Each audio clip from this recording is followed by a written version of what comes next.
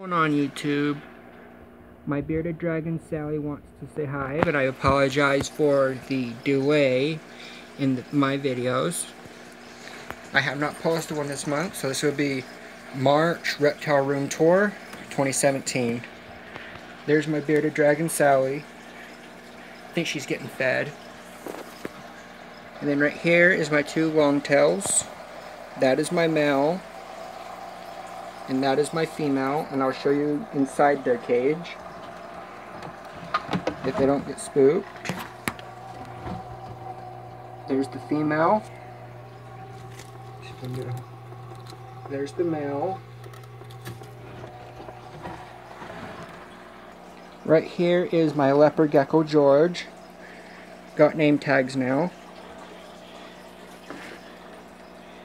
There's the first reptile that I've had for really long time which is my he is a leopard gecko and he's coming out to say hi. He thinks he's getting fed too. And right here are my American bullfrogs. There is my one of my males. Big bull my other one is right there. That's legs.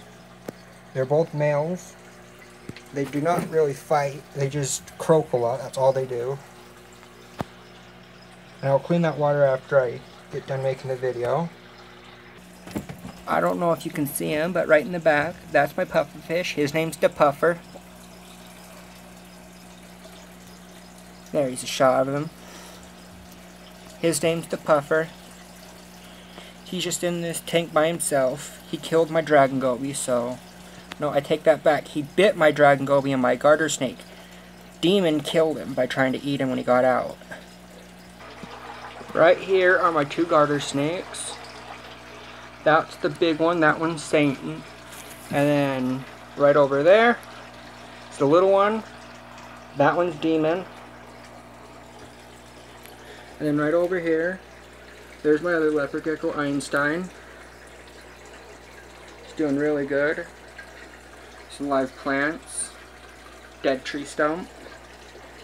Dragon tree actually is what that was.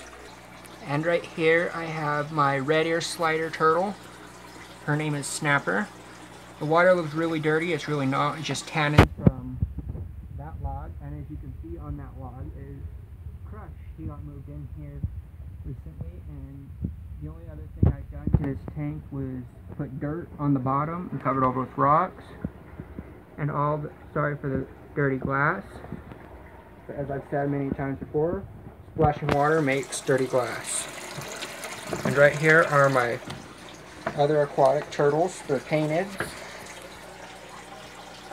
Bruce is really interested in walk, getting out and walking around. Up here just chilling with me is my green iguana. I actually have to be standing on my bed to get to it. He's up at my ceiling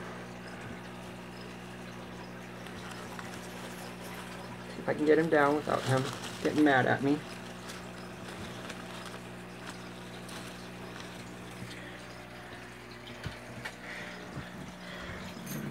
Well, here's my green iguana, Ozzy. He was just sleeping up there. George. There's my bearded dragon Sally again. This is Ozzy. Stay tuned and I'll get into my red iguana, Jenny. Right here is my red iguana, Jenny. She's always sweet as can be.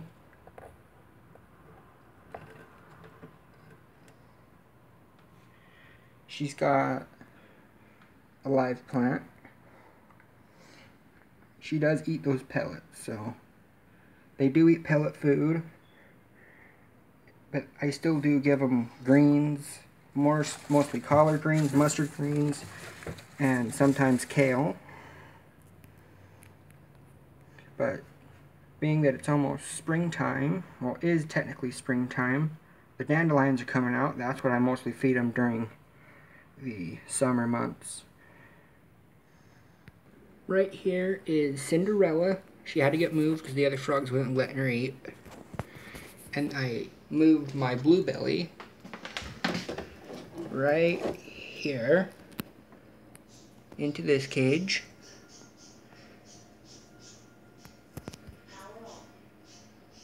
That was just my speaker, so it's my blue belly. Alright guys, this is a new addition. It is a neon tree dragon. She is right here. Her name is Lashone.